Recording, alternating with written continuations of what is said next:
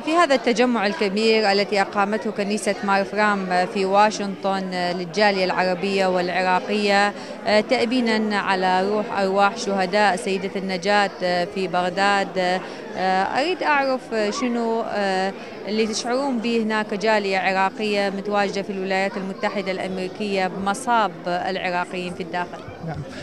بداية أحب أشكر قناة الفيحاء اللي انطتنا الفرصة حتى آه، نعبر عن مشاعرنا عن حزننا.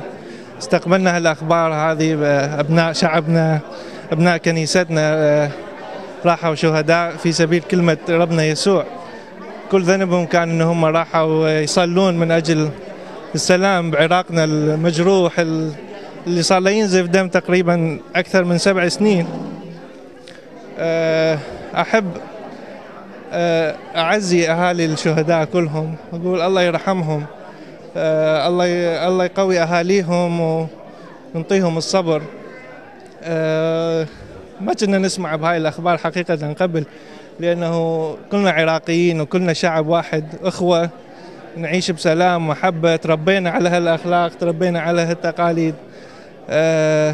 الله الله يسامح اللي اللي كان وراء هذا الشيء والله ينطي الأمن والسلام لأبناء شعبنا. آه، أقول لهم آه، إن شاء الله الله يحميهم. ما أريدهم يطلعون بس لأنه الوضع صار آه، صعب عليهم الزمن صعب عليهم. الله يقويهم ويخليهم هناك ببلدنا يكملون مسيرتنا يكملون مسيرة نشر كلمة الرب بكل أنحاء العالم وبعراقنا. ليش هيك يسوون بعراقنا شو يريدون؟ الجهات الخارجية دول الجوار. شو تريد من عندنا؟ إحنا شعب آه، أعطيناهم الحضارة من من من قبل بالتاريخ وانطيناهم المعرفة. هسه الكل يغارون منا آه، من زمن من الفرس ومن الدول العربية. إن شاء الله يعوفون عراقنا بحالة يعيش الأمن يعيش شعب الديمقراطية والحرية اللي أخذها هسه. ويكون دائما شعب حر شعب مؤمن آه، يحب السلام ويحب الأخوة لكل الناس. آه، هذا التجمع الكبير آه، هنا في واشنطن في كنيسة مار فرام للجالية العربية والعراقية. تنديدا بالإرهاب والعمليات الإرهابية التي طالت أبناء شعبنا العراقي وأيضا أبناء كنيسة سيدة النجاة في بغداد.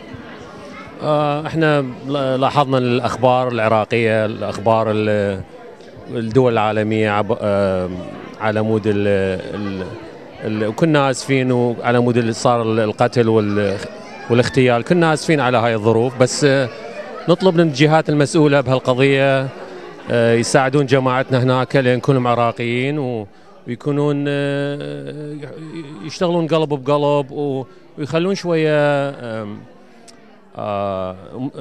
قواد أو جيش أو ثلاثة أربعة آه، مساعدين حول الكنيسة حتى يقدرون الناس يروحون هناك بأمان. وإحنا كنا عراقيين ولازم نشتغل بوحد إذا ما نساعد أحد بعد راح نوقع بمشاكل هواية كبيرة بالمستقبل.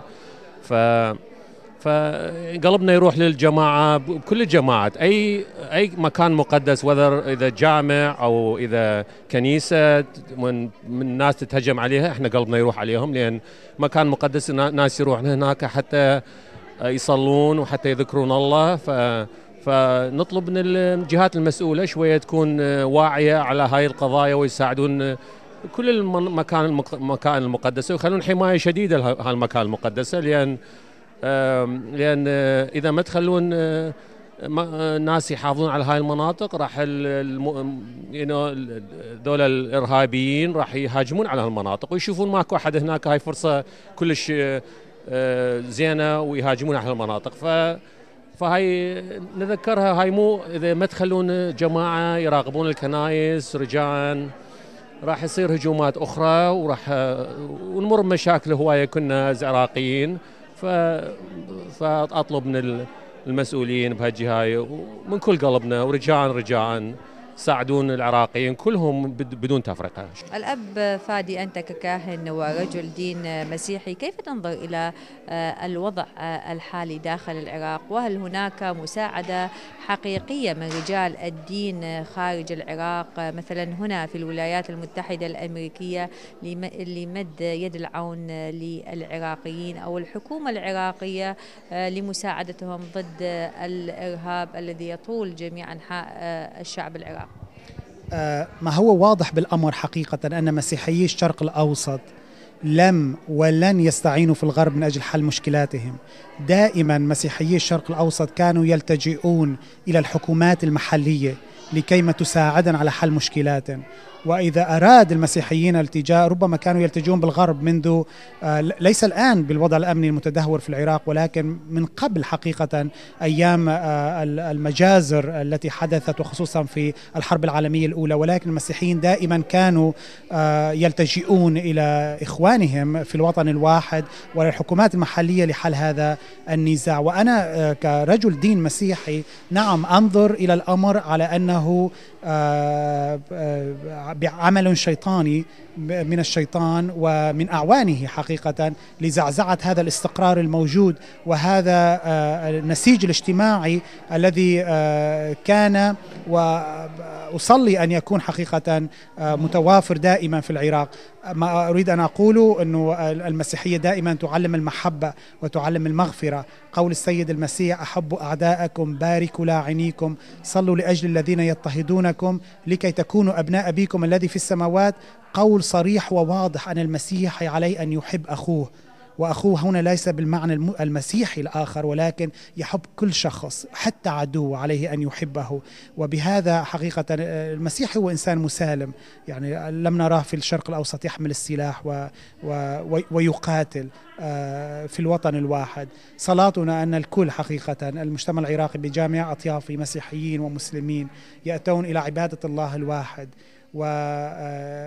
وتنتهي هذه الموجة التكفيرية الموجودة في الشرق و يتعايشون على أنهم آه، أبناء وطن واحد وأبناء ملة واحدة. آه، الأب فادي آه، تتوقع أنه أكو حلول من رجال الدين هنا في الولايات المتحدة الأمريكية للضغط على الدول الإقليمية وأيضا دول الجوار التي تشارك في عمليات الإرهابية داخل العراق أو هناك ضغوطات لتدخل الأمم المتحدة أو تدخل الولايات المتحدة الأمريكية بشكل حاسم داخل العراق؟ على ما أعرفه حقيقة في واشنطن الكثير من الجمعيات المسيحية حاولت اللجوء إلى الحكومة الأمريكية منددة وحقيقة كمان تطلب أنه توفر الأمن لا سيما المسيحيين لأنه جماعات كانت مسيحية التي التجأت إلى الحكومة كان الرد سلبا حقيقة أن الحكومة الأمريكية لا تتدخل في الشأن العراقي بهذا الشكل آه نحن كرجال دين نتضامن مع مسيحي الشرق الأوسط بالطبع ويهمنا كما يهمنا أي إنسان بريء يموت في العراق كان مسيحيا أو مسلما. آه على ما أعرفه أن آه هناك بعض المنظمات المسيحية آه، قد خرجت أو ستخرج في مظاهرات في واشنطن آه، من أجل المسيحيين آه، الشهداء الذين ماتوا. آه، وأيضا على ما أعرفه أنه الكثيرين من اللجان المدنية آه، لجان المجتمع المدني تندد وتكتب وبالصحافة المقروءة والمسموعة آه، منددة فيما يحدث. ونحن كرجال دين بالطبع نوافقهم على الرأي ونطلب من الله. إلهنا هو هو حلال الحلول. هو الذي قال إن لم يبني, الرب البيت فباطل يتعب البناؤون. آه الله إذا لم يبني هذا البيت البناؤون يتعبون. مشاهدينا شاهدتم هذا القداس الذي أقامته كنيسة ماي فرام في واشنطن على روح شهداء ضحايا الإرهاب في العراق. أتمنى أن ألتقيكم في حلقة قادمة. أنا هيفاء الحسيني أستودعكم الله وإلى اللقاء.